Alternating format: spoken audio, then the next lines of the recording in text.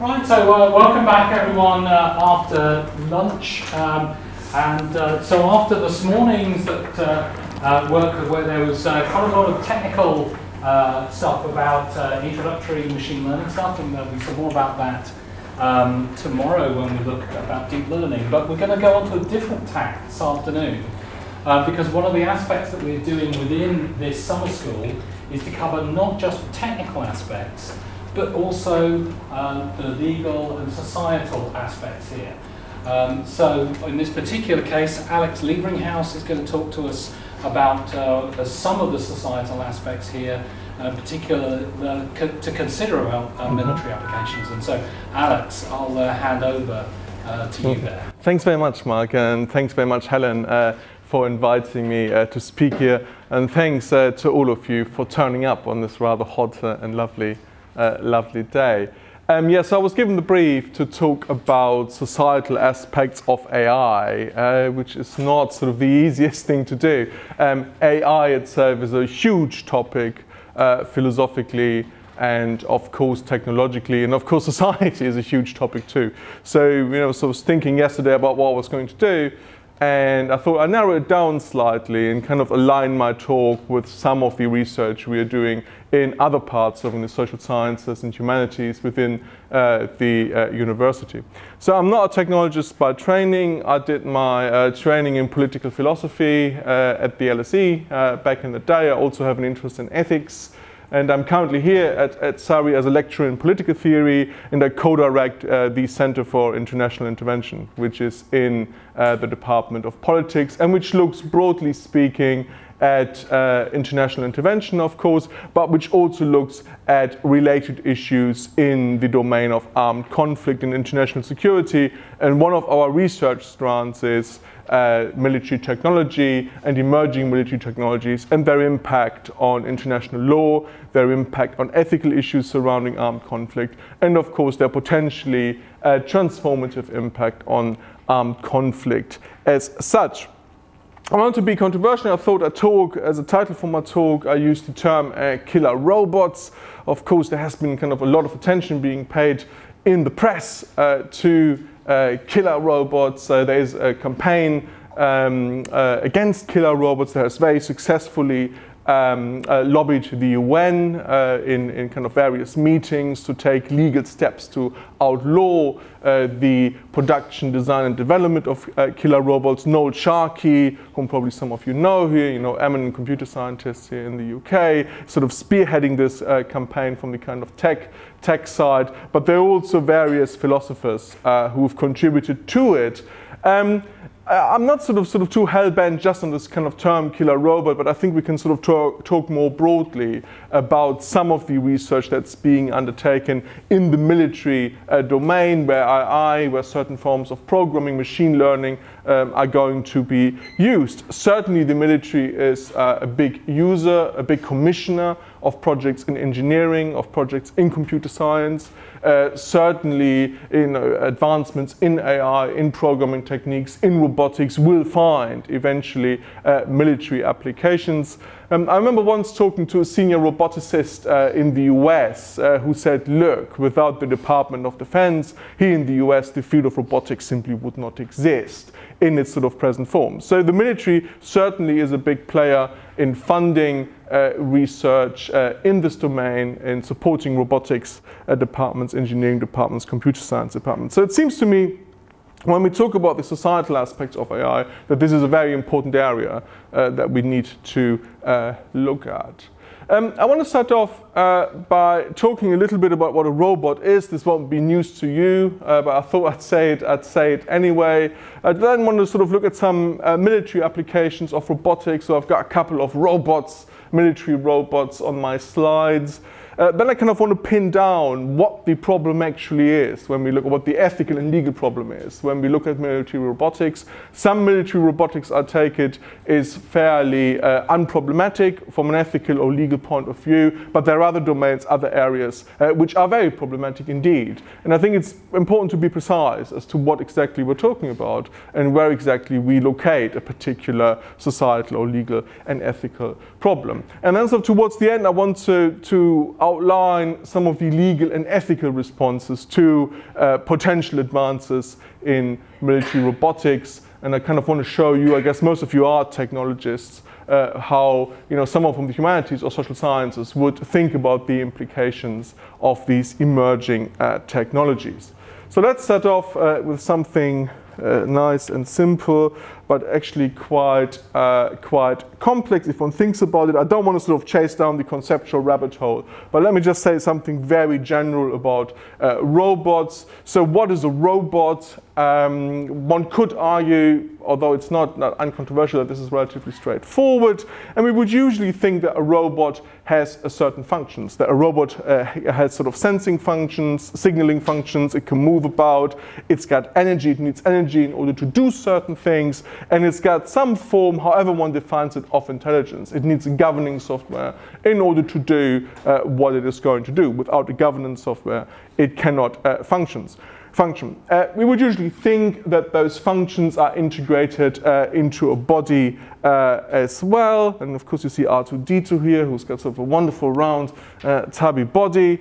And that kind of um, impacts on the definition of what a robot is. So one definition which I've got up here simply says that a robot is an embodied uh, artificial intelligence. Another uh, de definition says that a robot is an artificial device that can sense its environment and purposefully act on or in that environment. And I think the term purposefully here uh, is quite important. We would usually think that the robot's interaction with its environment does reflect certain parameters uh, set by its programming. It's not going to be an arbitrary actor within its environment. It's there for a specific function. It's there to carry out a particular uh, task. And in that sense, I think we would think that its actions are not completely arbitrary, but indeed they have a purpose, namely to accomplish a task. Of course, as I said, you know, the kind of conceptual undergrowth here is, you know, not as straightforward as it may seem. So, you know, if you think, for example, about the aspect of embodiment in the definition of a robot, of course, we've got software robots like computer viruses. But, you know, the point of these software robots is, is that they lack a body. Uh, still, they've got some functions of a robot. They can move around. They can do certain things. They can interact with their digital environment. But of course, they would uh, lack a physical uh, body. In the kind of military uh, context, how do we define a robotic a weapon system? How do we define non-robotic elements of a weapon system? I think uh, you know, we shouldn't really sort of chase down this kind of conceptual rabbit hole. It simply, I think, sort of suffices to say that in modern weapon systems, they might actually themselves be robotic or there might be elements of those systems that interact uh, with uh, a robot. I don't think we have to be kind of too precise in the kind of definition here. In any case, why do we uh, want uh, a robot? Um, we get sort of the four, uh, sorry, yeah, we get the uh, four Ds. We want robots because they do certain tasks for us, uh, tasks that are dull, that are uh, dirty, dangerous, and some would also say uh, dodgy, sort of kind of morally questionable, or otherwise uh, questionable, the four Ds, and probably also tasks, if we think about them, that human beings aren't particularly good at. So this is the four Ds of robotics. Now, if one looks, um, you know, sort of to society, where do we find those dull, dirty, dangerous, and probably dodgy tasks? Of course, the military uh, comes uh, to mind. Certainly, the tasks that the military undertakes are uh, very dangerous. Uh, at least, we, I think, we can sort of agree uh, on that. Dodgy, who knows? Um, dirty, probably dull. Yeah, if you think about things like guard duty, for example, they can be uh, fairly dull uh, too.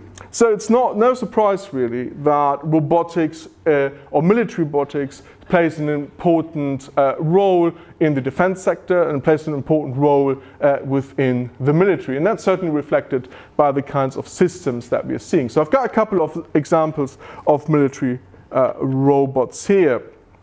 So the first one here is uh, the Dragon Runner robot um, developed by Carnegie Mellon University and Automatika incorporated. Uh, it's usually used in an urban environment. It's very portable, so you can easily fit uh, this robot into a backpack. And it's currently used by the British Army in Afghanistan and other theaters uh, for the detection of improvised explosive uh, devices. Um, and certainly bomb uh, diffusion, bomb disposal is you know, a very kind of dangerous thing to do. And it seems to make sense uh, to use a robot here uh, rather than a human person. If an IED blows up, you know, a robot will be destroyed, but the operator, you know, hopefully will escape unharmed. Um, probably worthwhile saying, so Britain enters into uh, military operations uh, in Afghanistan after, uh, of course, the 9-11 attacks on the World Trade Center. Uh, it very uh, quickly, together with the American and allied partners, uh, finds itself um, confronting a major insurgency within Afghanistan. that insurgency is partly asymmetric, so the Taliban and allied parties do not seek a direct conf confrontation with the military, but very heavily rely instead on using fairly primitive devices to inflict uh, damage uh, on Western troops, including those improvised explosive devices.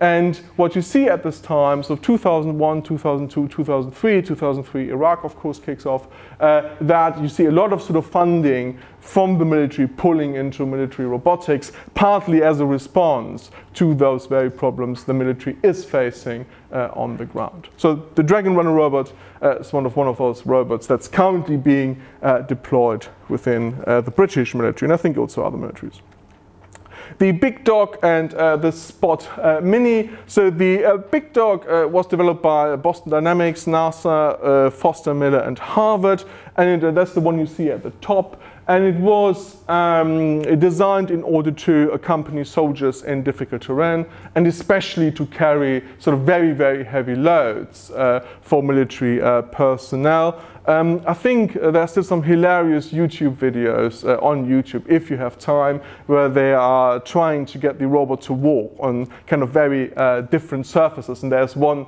where the robot walks on ice with its four legs. And it kind of it looks really cool how the machine tries to stabilize uh, itself. Uh, unfortunately, or not unfortunately, the project was shelved in 2015, and the main problem was that uh, the big dog robot was too noisy. Uh, for combat environments, it was powered by a gas-powered engine, and that simply uh, proved to be uh, too noisy. It would have been kind of a sitting duck or a sitting robot, however you want to uh, term it, uh, because it would have been very easily detectable by enemy forces and could have been very easily attacked or destroyed. So that was certainly one of the problems with this kind of system. But surely, I mean, once you've got sort of certain key constituents of the technology in place, you can tinker around the edges. You can try to work to overcome some of the present shortcomings of um, a particular system. And indeed, uh, that was uh, done by those companies involved in the uh, development and design of the Big Dog and the Spot robot emerged, which you see at the bottom here. Uh, this is the Spot Mini, which is now in production at the moment as we speak. And compared to the uh, Big Dog, it's got the advantage that it's much quieter in its operation because it's got an all-electric uh, engine rather than a gas-powered uh, rather than a gas-powered uh, engine. So that's currently being developed. The downside of this particular system is that it can't carry as heavy uh, uh in terms of weight as uh, the big dog robot. But that is one application uh, of military robotics and certainly something where we will see more, more development. And the next one will probably be familiar to many, the famous Predator drone, uh, which you see here, releasing a Hellfire missile, um, manufactured by General Atomics, very widely used by the US military, and of course also by the US uh, intelligence services, uh, most notably by the CIA, in a kind of post-11 environment for uh, so-called targeted killings.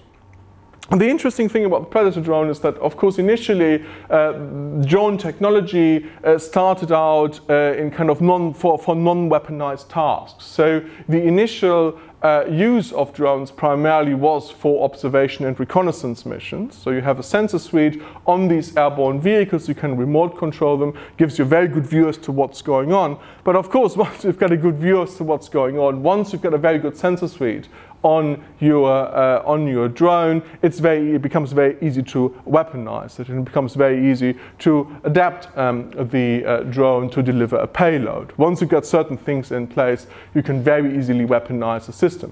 So even I mean, if you think about things, for example, I guess that you might have talked about today, like self-driving cars. I mean, once you've got the technology in place, it becomes uh, more or less easy, sort of to kind of to take the next step and to use the technology to put it into a weaponized uh, context. So, for example, once you've got self-driving cars, it becomes not inconceivable, it seems to me, just to stick a gun on it or machine gun on it or to have something like a self-driving uh, tank. Certainly technologically that can be achieved. So even technologies that are not weaponized at the very beginning, you know, like for example drones, they're used for reconnaissance, they're used for observations, can become weaponized relatively easily.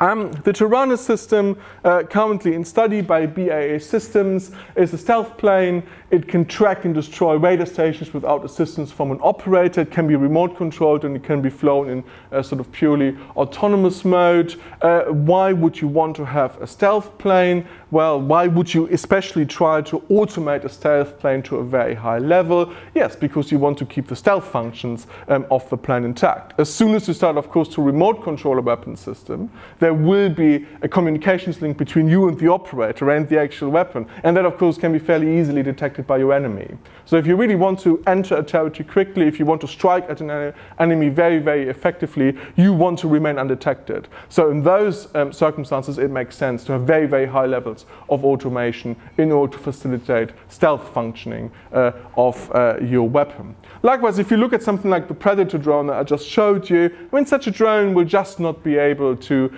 withstand a confrontation, say, with a fighter jet. It just won't be able to. So you kind of need to compensate for that. How can you compensate for that? Well, you increase levels of automation, you fly at a greater altitude, you fly at greater speed, you try to enter a territory, enemy territory, undetected, and then you strike and you try to leave before your enemy knows what's happened. That's where we see these kinds of systems emerging. And the uh, Taranis uh, stealth plane was, I think, tested uh, by the British military in the Australian outback a couple of years uh, ago. I think it was 2015 or 2016. If you look at the BBC website, there's sort of some videos still of the tests um, available.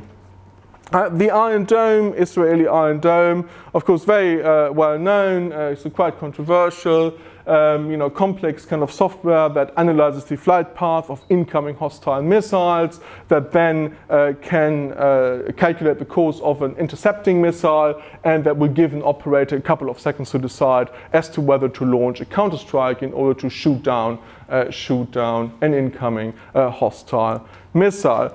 Um, one of the problems in the way that Israel has is, of course, that when you know Hamas and other groups uh, opposed to Israel fire these rockets into its territory, they very often do this from a kind of mobile platform. It could even just be a moped and someone with a rocket launcher, you know, shooting a missile, then kind of driving away as quickly as possible. So one of the steps we're seeing in that technology with the Iron Dome is that the Iron Dome will be increased, or the governing software will be increasingly linked to UAVs, which will hover in the air and which will be able to strike uh, the actual launcher or will strike very quickly at the launch site of where a particular hostile uh, missile has uh, originated.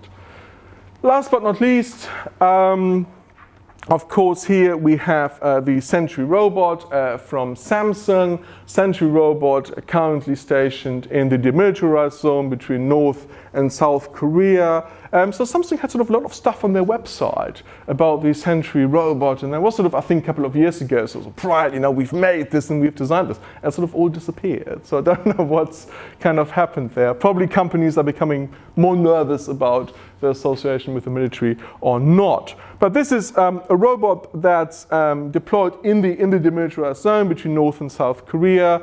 It is a stationary robot, so it doesn't really uh, move around. It doesn't have wheels, it doesn't have legs. It's, well, it's fixed in a certain uh, location. But uh, of course, it is a weaponized robot. It has two machine guns and one gun that, fire, uh, that can fire rubber uh, bullets. And of course, if you encounter it, you really wanted to take, in a way, you know, the gun with the rubber bullets rather than the machine gun. Now, the point of the Sentry robot is that it's kind of very accurate and in tracking and identify targets up to 2.5 uh, five miles uh, away. And it's very good at distinguishing uh, human targets in particular from potential non-human objects that are moving around in that uh, environment. So it has a very kind of uh, accurate tracking ratio in identifying uh, a human target. Should you ever meet it, it has a micro, or should you ever walk up to it in a foolish moment, just in case you're taking a holiday, you know, in this particular area of the world, which I probably would not, not recommend. Um, um, it has a microphone system, so it will ask you for a password, and it can then analyze in your response whether you know the password. And if you don't know the password, you've got a problem uh, with your robot. Um, at the moment, the system is not um, allowed to operate at its full capacity. So at the moment, it is uh, remote controlled and remotely operated. So should you encounter these Sentry robots, it will uh, probably ask you the password, but it will alert a human operator that you are standing in front of it. And then you can communicate with the human operator via the uh, loudspeaker and microphone system uh, within the robot. But you can see, you know, again, the kind of technological step is very small. The system is currently used under capacity, uh, and technological capacity, as you uh, could uh, put it. So at the moment, there's sort of a human being in the loop, but of course, that doesn't always have to remain the case. Now, I said um, at the beginning that this talk was uh, about killer robots. So let's try having surveyed some of these robotic systems that are currently being developed by the military, that are currently being used by the military. Let's try to put kind of the killer into uh, the robot, as it were. So look, if you kind of look at the classification of military robots in terms of their lethality, then you have military robots like, for example, the Big Dog or the Spot Mini that are non-lethal. So these kinds of supply robots, you know, robotic pack mules that might be developed in the future once that becomes sort of achievable. Is there a big kind of ethical issues with non-lethal devices? There might be some ethical issues, but it seems to me compared to a lethal device, there really is no sort of big ethical or legal issues with those kinds of machines at least there wouldn't be any different issues that you, you know, get in other contexts, civilian contexts, such as, for example, the use of self-driving cars and so on and so forth.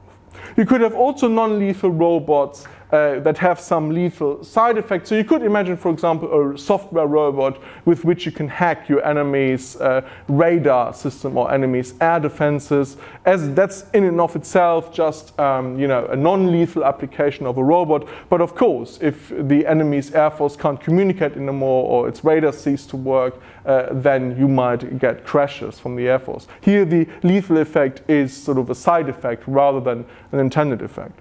And then lastly, and I think this is really uh, what we're looking at when we're using the term killer robots, you get robotic and other computer-based targeting systems that are designed in order to apply force to a target, where the application of, the, uh, uh, application of force to a target is not just something that is coincidental, or is not just something that is a side effect, but is indeed the intended uh, purpose or the intended task of a weapon. So something like the Sentry robot, something like Taranis. And I guess when people talk about killer robots, they have in mind really this third group of robots, i.e. robotic weapons that are directly designed in order to apply force to a target, to search for a target, uh, to find a target and to destroy it.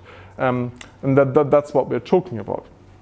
Just to kind of reiterate the point, about um, the use of automation, AI programming, and so on. Military robots, of course, might have loads of tasks that they can accomplish. So you can, you know, imagine a drone. It has flight functions. It has landing function, uh, landing functions. You know, it collects a lot of data. If you look at something like the Predator drone, of course, it's remotely operated by uh, a human pilot somewhere sitting away in a cubicle in Nevada, and uh, that's fine. But of course, at the same time, it already has a lot of automated functions simply because all the information that the sensor suite from the uh, drone picks up during its operation uh, would be overwhelming to any uh, human operator. So the human operator only takes part uh, or only takes over certain functions, whereas there's a lot of kind of automation already going on with the system. Now that's fine. However, when we look at what people are really worried about in these robotic weapon systems, then it's really in a way that the decision-making loop that underpins a targeting process within the military becomes increasingly automated. So you could say it's fine that a drone flies or that it collects lots of data about the weather and that you start to automate all of that. That's absolutely fine. Or that a tank sort of drives around and that it can sort of navigate a particular environment on its own without further uh, involvement of uh, a supervisor post-programming. What's more problematic really here is the kind of automation or potential automation of targeting processes. So that these systems start to acquire information about uh, targets themselves, that they can analyze the information about targets themselves too, that they can decide, in quotation marks, whether to engage a particular target or not, and that they can then um, enact that targeting decision by deciding whether or not to apply force uh, to a particular target.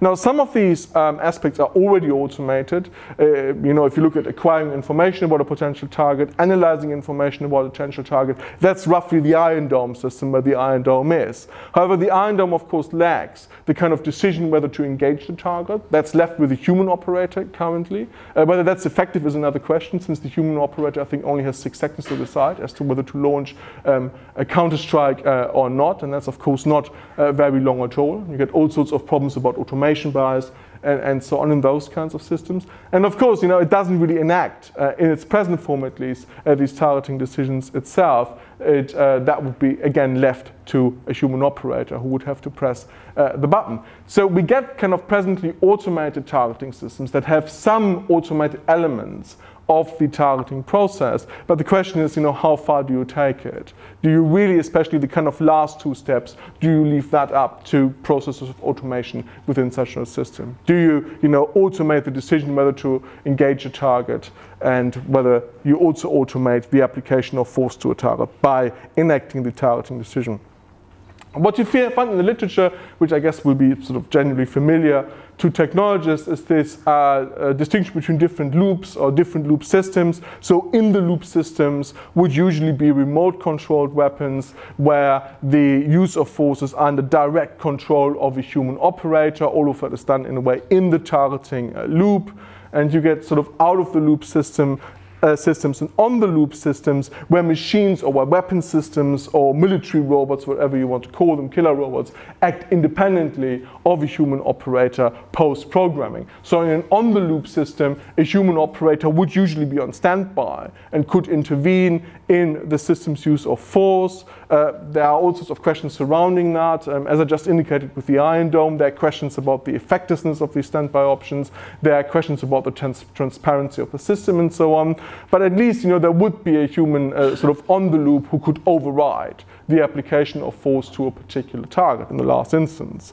And then you kind of get these out of the loop systems where the human operator is not on standby and when the kind of machine acts independently or the weapon acts independently where it when it, once it has been launched. And there would be limited or no ability of the uh, operator or of a human individual to override the machine's uh, targeting process. And of course, a stealth system is very much something you would uh, imagine as an out of the loop system, simply because you want to kind of cut the communications link in order to remain uh, undetected uh, by enemy uh, forces. And people are mostly sort of worried, I guess, about of these out of the loop systems um, here. Now, how could one respond to that kind of from a humanities, social sciences, non-tech uh, perspective? I just want to sort of run through a couple of arguments to give you a flavor as to what um, sort of has been happening in the field, how these things have been uh, discussed. So one group of arguments are generally sort of classed together under what I call uh, the yuck factor, where people say, oh no, robotic weapons roaming around the battlefield, oh, we don't want it. There's sort of something yucky about it.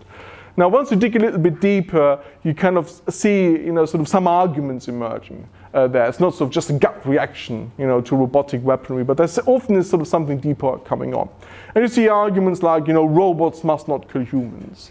Machines must not make decisions about life and death. War, once you have these uh, technologies in place, becomes increasingly riskless. So once you start to introduce these very sophisticated automated systems, you know, the likelihood of war goes up. So, you know, are those good arguments? And it seems to me um, that, you know, you know, there might be some truth to them, but, you know, they're also problematic. So, for example, you know, does it really make a difference if a robot or makes a uh, if a robot or a human uh, makes the decision to apply force uh, to the target? And now you might say, and I come back to this argument later, actually, in the talk. But you might say in some circumstances in modern warfare, actually, there doesn't seem to be a big difference at all.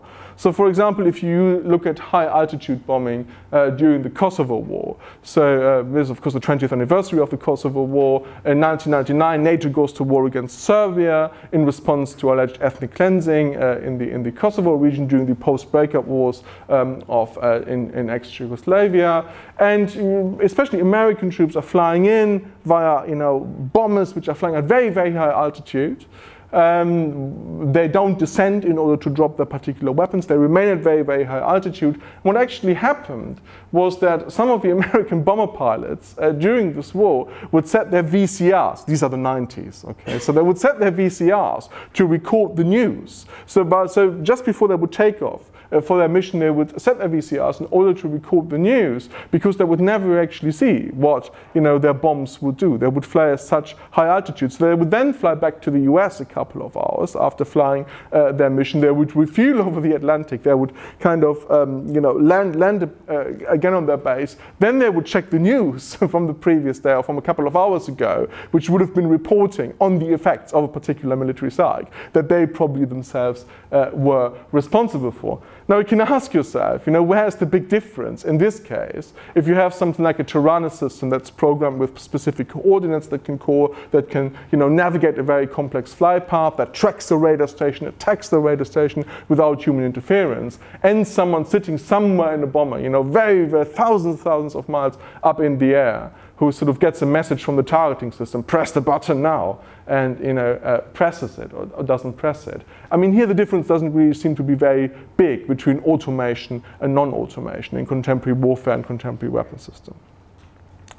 So some people are worried that sort of, you know, there's sort of something morally fishy about uh, robotic weapon systems and that has largely to do with sort of making decisions about life and death. But do machines really do that? I mean, presumably we would, um, presumably we would uh, program them. I mean, even an autonomous weapon, a robotic weapon will require some programming. So does a machine really make a decision, or does it really uh, sort of go rather back to its programming? Uh, and will enact a decision that a human operator has made in a way for uh, the machine. With whom does the decision lie? You could so, say probably in a small decision-making loop, yes, the decision lies with, uh, lies with the machine. But of course, in the bigger decision-making loop of a particularly military mission that a robot will have been programmed for, the decision lies with the operator. And then lastly, sort of this question about war becoming riskless. Well, are we really talking about riskless war? Or are we starting to talk about riskless killing in armed conflict? You know, would war really ever be riskless if you had a lot of military robots, if you had a lot of uh, automated weapons? I mean, probably not. I mean, you know, we still have superpowers. They still have nuclear weapons. You know, you want to be careful, even if you have a lot of robots. But of course, I mean, you could say, you know, for some parties, very technologically advanced parties that can draw upon these systems, well, war would probably, or killing in war in particular, would be a rather riskless uh, activity. On the other hand, I mean, there's a kind of legal problem here. So, for international law, in order to be permitted to kill or to apply force to a target to, a, to destroy a lawful target, you do not have to assume the equal risk of being harmed yourself or being killed yourself. So for example, if you look at you know, something like the use of drones in counterterrorism operations or even sort of improper uh, military operations, the fact that the uh, operator of the drone does not really stand any risk of being killed by the target just doesn't figure for the law at all. The law doesn't care. All the law cares about is that the target under the law is defined as a legal uh, target. So the question of riskless killing, the questions of asymmetry that might be reinforced uh, by technology, well, if you approach it from a strictly legal perspective, it doesn't seem to be hugely problematic. That's just where the law is, and the law is fine with it. So in terms of the kind of yuck factor where people might be uncomfortable with robotic weaponry, I think sort of a lot of arguments that seem to underpin that, uh, you know, they seem to be going in the right direction, but on the other hand, they're also not watertight, I think as I try to show. Now, what can we say about the law once we kind of take a more structured approach in thinking about uh, these kinds of systems? What can we say about uh, the law? The law is relatively clear. Uh, Article 36 of the Second Protocol of the Geneva uh, Convention is very clear. When states develop weapon systems, when states deploy weapon systems, it is their legal obligation to ensure that these weapon systems comply with international humanitarian law. Of course, I mean, that's sort of easier said than done. I mean, the problem with international law, as every lawyer knows, is, of course, enforcement. I mean, that seems eminently sensible to say that if you develop weapon systems, if you release them, release them into the wild, you want to ensure that uh, what you do is legal.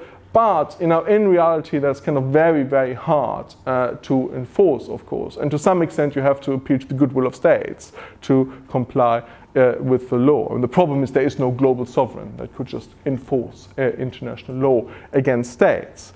Now, what can we say about the legal perspective here once we kind of transcend this kind of sort of yuck factor thinking?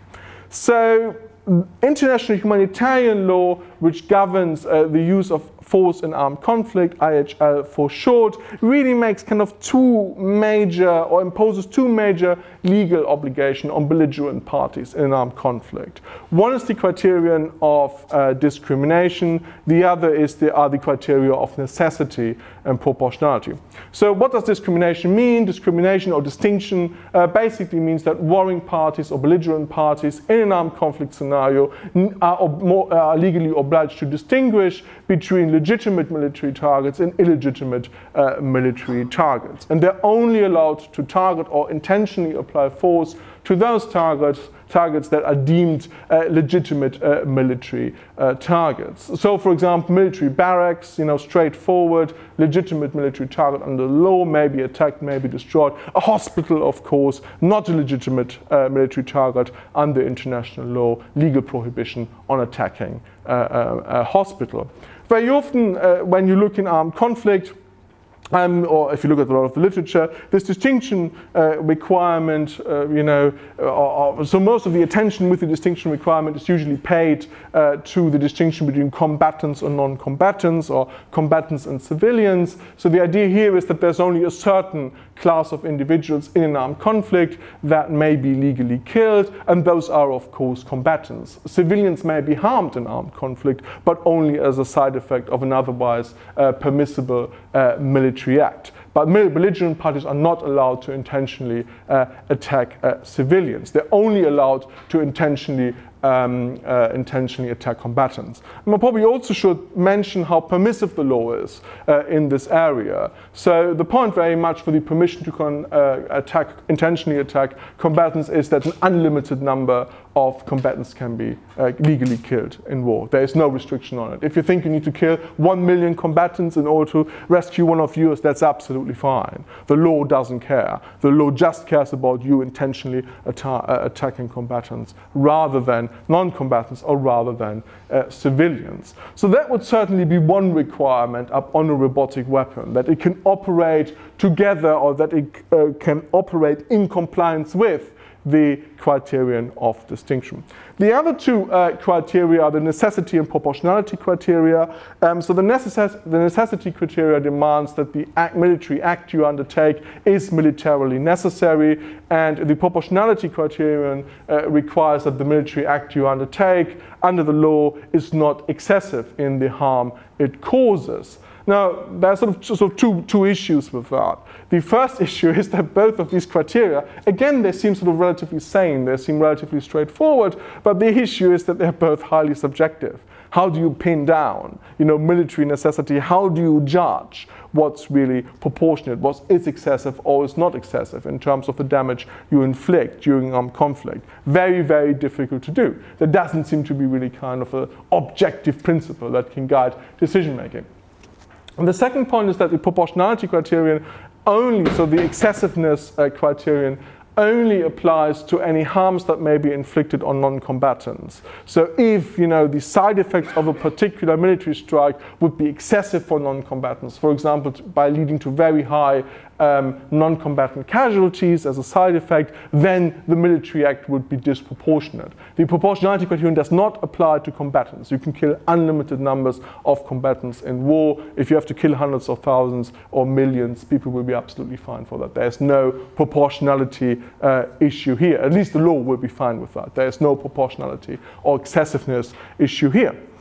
So how would a you know system operate, uh, uh, or could a system, could you know a robotic weapon or some other autonomous device or whatever, could it comply with these kinds of two key principles of international uh, humanitarian law? Of course, some campaigners would say, no, it can't, never ever, you know, it's never ever possible. But it doesn't seem to me that that is quite uh, that straightforward. So when it comes to targeting, for example, it seems to me whether you can successfully automate targeting functions or not while complying with the distinction criterion, that will very much depend on the signature of your target. How good the track record of your machine is of your weapon is in identifying the correct target.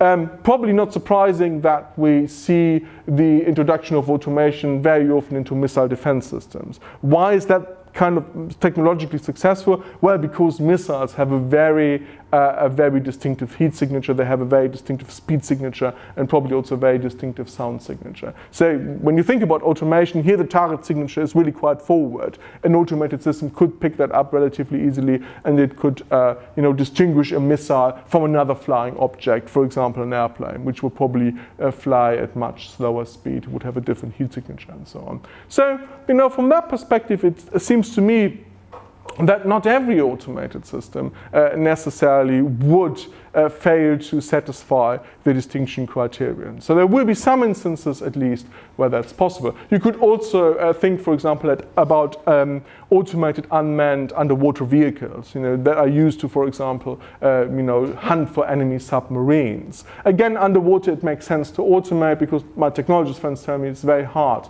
to use remote control underwater. So again, you could see high levels of automation there.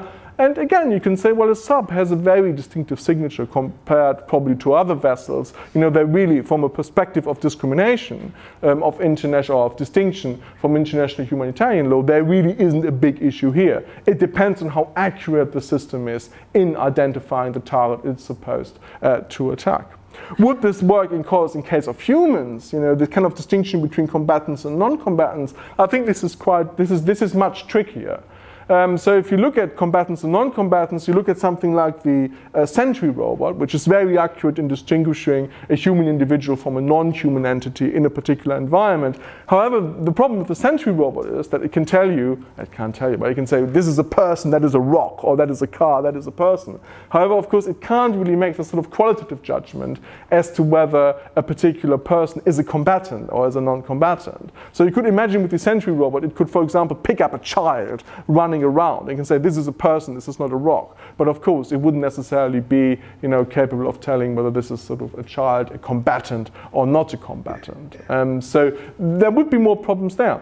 On the other hand, you know, soldiers may wear uniforms. What are uniforms for? They identify them as member of a fighting force. They identify them as legitimate targets in war. That's why soldiers wear uniforms. Well, why not adapt uniforms accordingly so that machines or weapons can track soldiers. I mean, you know, very unlikely that, you know, states would comply with this or states would like to go this sort of extra mile to make this possible, but at least technologically, it seems to me, even in the case of human individuals, that the kind of international humanitarian law-based case against uh, automated weaponry or against killer robots, if you want to call them that, is not uh, entirely watertight. What about proportionality and necessity? You know, those are very subjective principles, uh, of course, under international humanitarian law. And the point very much is, yeah, sure, probably it would be difficult to automate those kinds of judgments. How would you do it? Uh, the US, of course, already uses um, um, uh, automated systems in order to make projections about casualties uh, during battle. It's called Bugsplat. The informal name is Bugsplat for the computer program because all the potential casualties will appear as little, little kind of uh, red dots on the computer screen. So the uh, military people call it Bugsplat because it looks like the bug has been squatted. Um, so yeah, probably you could install something like that into uh, a robot. The point, it seems to me, is not that machines will find it hard to apply those kinds of principles, but it's all already very, very hard for human operators to do so. So, you know, I'm, i sort of I take the point that there will be technological limits, but there are already sort of human limits in, in place. Um, so that's sort of a, sort of kind of illegal story, kind of an ambiguous story. I think the law would sort of very much say it depends on whether these kinds of systems are, you know, legal or illegal. What we partly need to do is look very carefully, and that would be my approach, at each individual system in order to tell whether it can comply with discrimination or whether it can comply with some of these other criteria. And in some cases that will be possible, in other cases probably not too much. So lastly, just to finish this off, um, what about ethics? How could ethicists uh, think about this? I talked a lot about, about un, you know, sort of jumbly bumbly yuck reactions to robotic weaponry. I talked a little bit about the kind of legal approach to it. What could ethicists say? And of course, I mean, ethics itself is a hugely uh, wide, uh, you know, field. It's a very complex field. So I guess you will not find a consensus among ethicists as to how to uh, respond to these uh, kinds of um, kinds of technologies. There will be quite vigorous uh, dis, uh, disagreement. I mean, sometimes sort of find this in data ethics with AI. You know, we just ask the ethicists what sort of algorithms or what sort of code we can write, and they sort it out for us. No, I mean, there will be kind of sort of fairly big uh, disagreements. So I'm just going to run through an argument that I've come up with, uh, sort of that gave me sort of my 15 minutes of philosophical fame uh, in the world. And that relies on a thought experiment. So one experiment. So one thing that um, ethicists do or philosophers in general do is to engage in thought experiments. You know, scientists have experiments, we have thought experiments, but we're also doing experiments uh, which are which are important. And in a thought experiment, like in a real experiment, you can isolate the sort of issues you want uh, to look at. So what I did in this um, thought experiment was to assume that we can uh, Uh, create and that we can program the perfect robot. Of course, everyone's going to me, oh, there's no such thing as a perfect machine. Yeah, that's not the point. I mean, you can put all sorts of fantasy conditions into a thought experiment.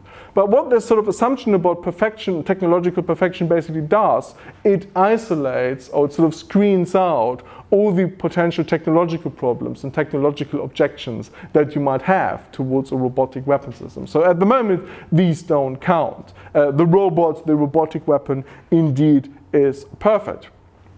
So would there be an ethical argument against uh, using uh, a killer robot? Uh, and could we somehow maintain in a way that you know, killer, using a killer robot is bad, even if there was no sort of technological worry about excessive risk, about the machine identifying the wrong target, and so on and so forth. And sort of my argument here was that there is indeed an ethical problem, even if we assume a kind of perfectly functioning machine. And that ethical problem has to do with the change or between replacing kind of human agency in war or human agency on the battlefield with what I call artificial agency. Uh, of a robot. A robot, it seems to me, is an agent. It does certain things. It perceives its environment. It interacts with it, and with it, it's with its environment, it causes changes within that environment. So it has some level of agency. I don't have a problem with that. But of course, it in a way falls short of human agency. It is what I called an artificial agent. And I think by replacing, in a way, uh, human agency with artificial agency in war, we're kind of getting rid of something that's valuable about human agency, namely the ability to do otherwise, and the ability not to shoot or the ability not to kill. Robots will lack this agency. They will choose uh, to kill if they encounter the target they've been programmed uh, to attack. So for robots, very much, you know, very kind of different agency, an agency which is very much just uh, reflecting its programming code, but which falls short of the human agency in the end uh, not to kill. Now, you know, there are kind of a couple of arguments uh, that you could make against this position. One argument you could say is, well, you know, that's exactly what we want to get rid of. This human agency is terrible. You know, human beings have of course, they have the ability not to kill, to kind of resist their programming, if you want to uh, put it that. But on the other hand, you know, a human agency can be terrible. Humans, you know, engage in terrible war crimes and they do kind of terrible things uh, to each other. Would it really be so much worse to kind of get rid of human agency and to start replacing it with ever more artificial agency? The other argument would, of course, be against this well, Alex, you know, you're very much sort of again focused on this kind of story of combatants and non-combatants, of killing in war. But of course, there might be loads of other military acts that you might undertake that, that are not directly engaged or not directly aimed at humans. And I would say, well, in that kind of context, absolutely. This is sort of a fairly narrow argument that just really uh, aims at one aspect of armed conflict. I would, as an ethicist, probably much more comfortable, not as worried about the use of military robots, for example, to search other military robots, or you know, for military robots to you know shoot down drones, unmanned drones, or whatever. So I would argue, yeah, you know, automation, you know, some of it will be ethically problematic especially if systems are designed to specifically target human individuals. But on the other hand, I personally would say, well, you know, as long as you comply with international law, as long as you do uh, attack the sort of targets you are meant to attack, um, you correctly identify the targets, and the use of force is not excessive, there really isn't a uh, uh, there really isn't a big moral problem uh, with um, automation as such. At least a distinctive moral problem that wouldn't arise in other areas of uh, already existing areas of armed conflict. So probably sort of just um, sort of two thoughts which might be useful just to sum this up a little bit sort of for for the audience or for kind of a tech technologist uh, group, I guess. So one is, I think, that um, the ethical ramifications or societal ramifications of technology are very complex. And you already see this in a relatively small domain, just of a military context. I mean, already here, you know, it starts to matter whether you're talking about a weapon system that would be aimed at a person or whether you're talking about a weapon system that would be aimed at something different. That sort of seems to be, you know, a jet, whatever. Uh, I mean, that already seems to be kind of pretty important here.